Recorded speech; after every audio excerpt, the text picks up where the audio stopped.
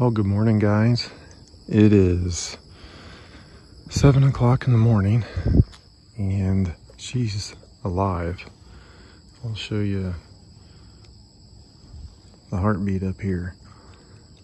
It didn't do that with the 12 volt power off. So I've got a five way switch inside. Better get a flashlight. I'm gonna go turn it off and see what's causing that. So I feel like it's Christine. Got the flashlight on here and a label maker. The only thing I have on besides the relays and these little lights is this uh, fan, but I thought it would have given me more of a even pulse.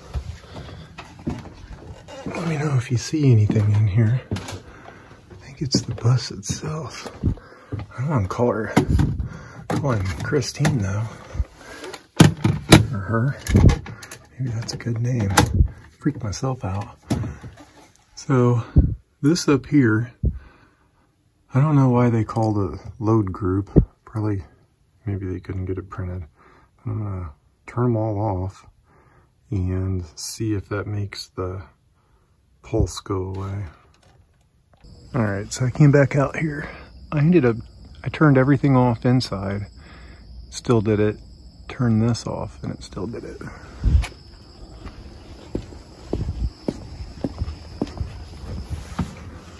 So I'm trying to figure out what the heck's still on. It's just a little pulse. Like I said, it's like a heartbeat. I'll take another screenshot. But I've got all of these off. I have the 12 volt off.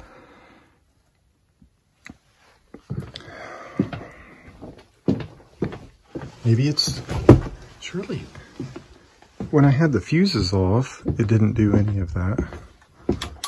I don't know what it would be. I gotta go to work. Well guys, what we're doing right now is pulled wire for the WakeSpeed.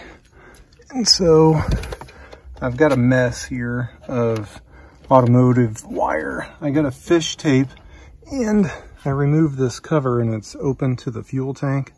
I should have showed it, but it was dark and hot. Um, basically there's a conduit in here that runs all the way to the back.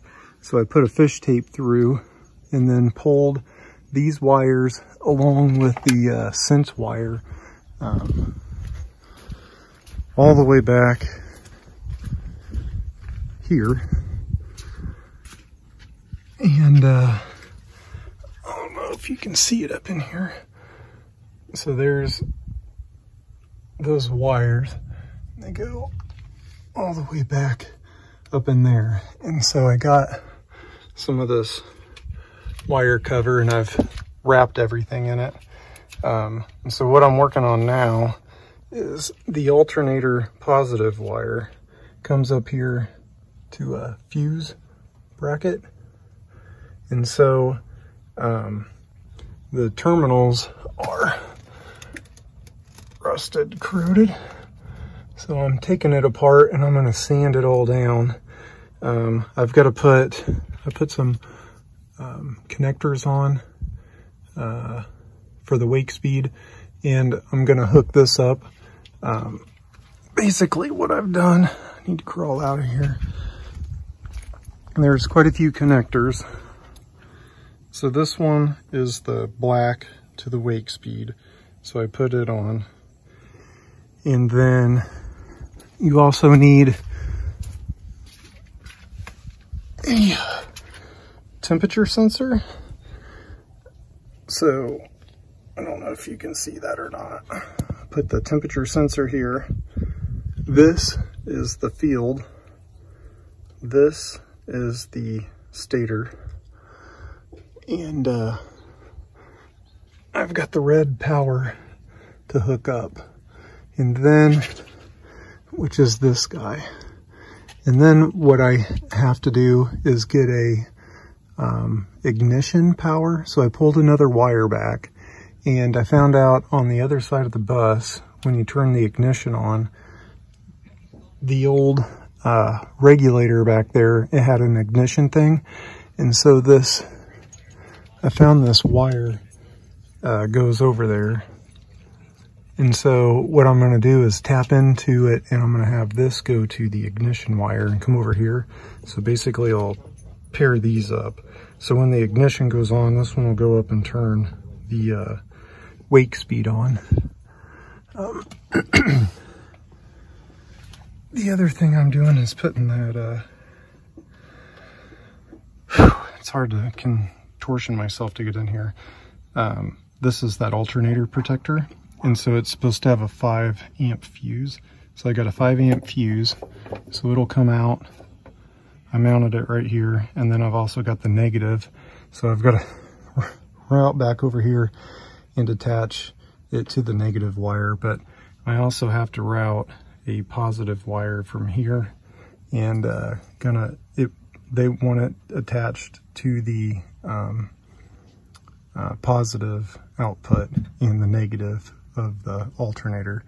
So I got to take the negative back off and run wire over here and then run another positive wire over to there.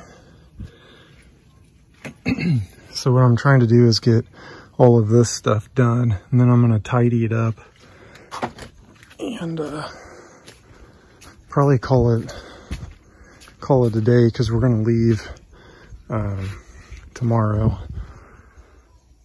But then all of these wires, I got to come back here and uh, I may get those hooked up.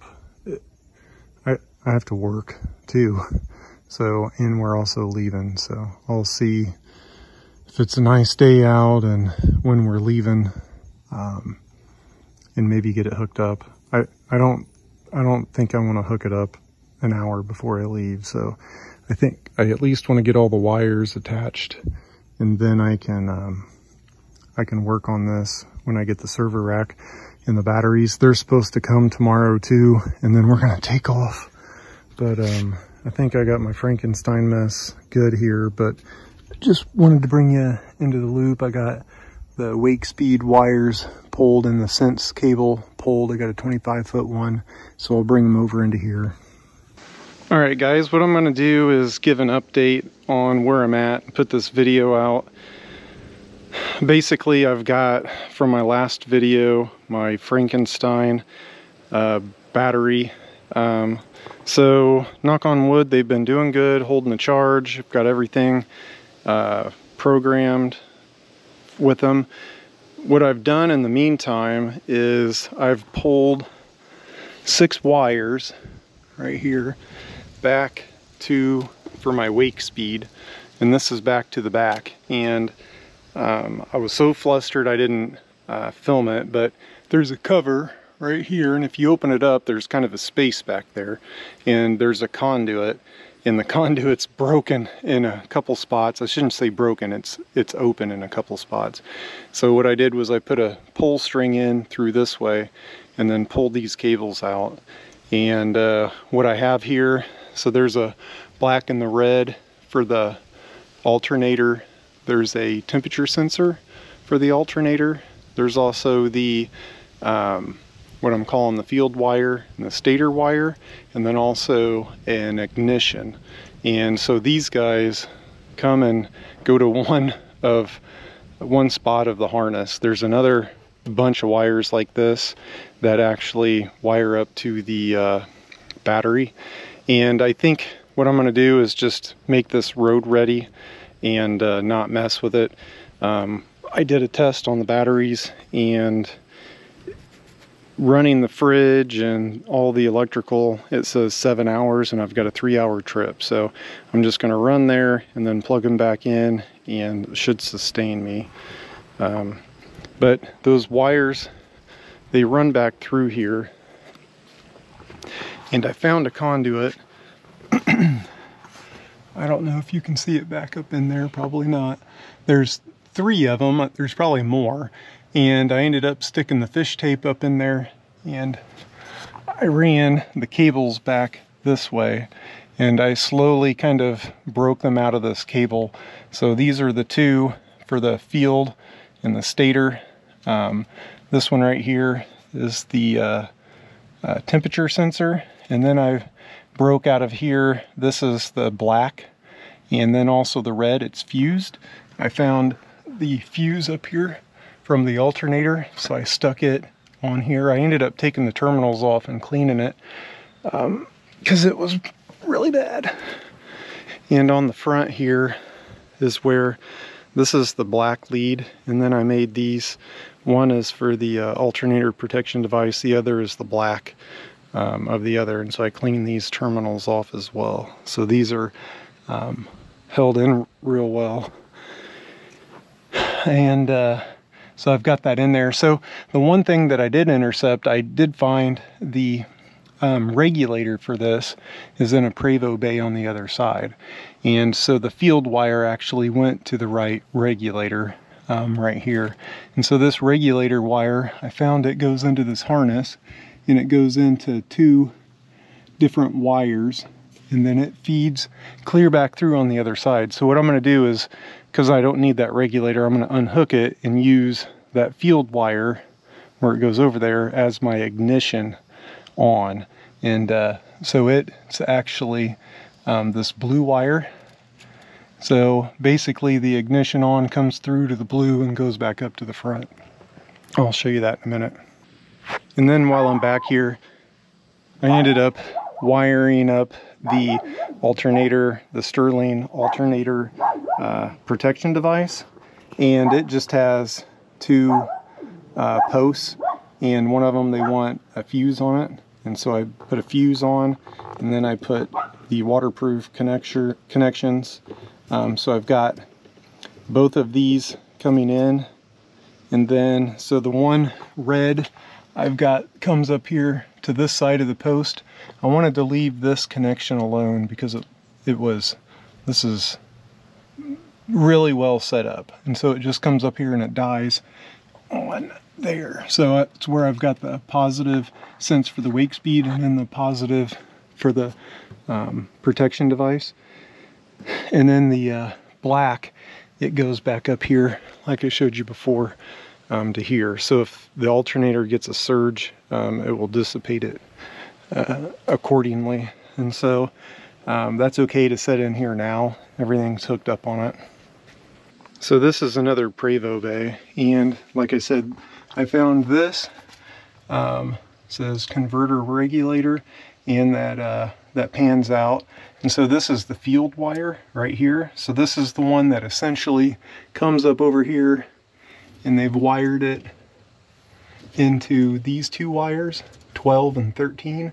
And so I found it over there. So basically what I'm going to do is take this field wire off and they already have an ignition wire right here so when I turn it on what I'm going to do is connect unhook it and take this ignition wire and then connect it to the field and then unhook the battery and the ground so that this uh, regulator is basically it'll still stay in here but I'll have the wires terminated.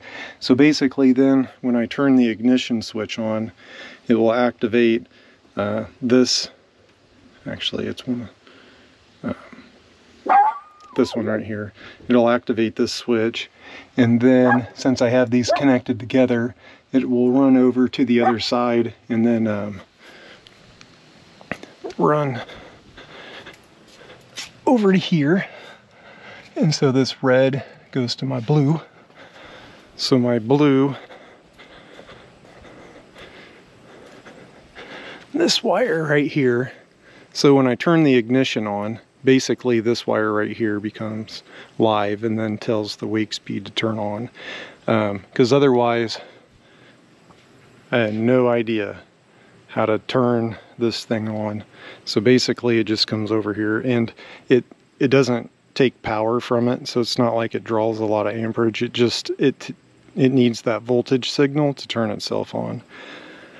So I'm gonna go ahead and connect those wires in there and uh, I'm also going to um, put a connector over the top of these just to make them safe and then put them back up in here. Uh, I was hoping to do kind of an unboxing of the uh, new batteries. They're supposed to be here today. I can't make this stuff up. That's nice. Make sure you get all that all over you, dog.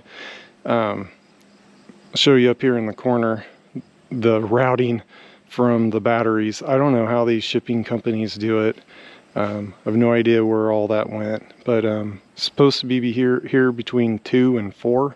Um, we're wanting to take off like at five or six, so I'm just going to receive it and uh, unpack it in here on the crate, and I'll do kind of an unboxing and stuff like that video um, late next week and tell this dog to get out of here. But uh, thanks for tuning in and watching. Stay tuned for the next video where um, hopefully I'll get the uh, batteries.